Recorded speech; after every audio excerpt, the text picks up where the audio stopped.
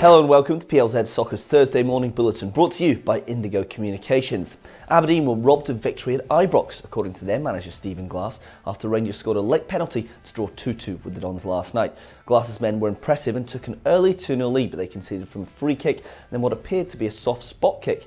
As referee John Beaton judged that David Bates had pulled down Fashion Sakala in the box, the Dons are 8th whilst the Gers stay top.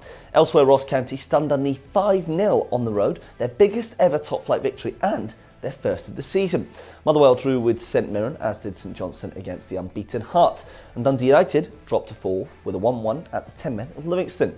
Celtic moved up to second place for the first time this campaign with a 3-1 win away to Hibernian, and manager Ange Postecoglou hailed the first half performance as the best yet under him and promised there is much more to come.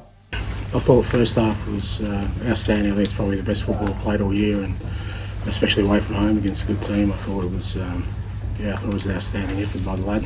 Yeah, I mean, coming here, you know, it's it's going to be a challenge for us, but um, some positive signs, you know, in both halves about sort of, you know, the team we want to be.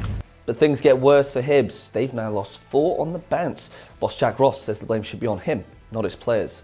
At the moment, I think supporters should direct at me. It's my team, my responsibility, my preparation, my direction. So players need them at the moment in that run. They need them to be behind them. So any frustration, disappointment stadium, another forums directed at me. You know, support the players, give them that backing because they're good enough to um, come out that run because they've shown that um, for the best part of a year and a half now.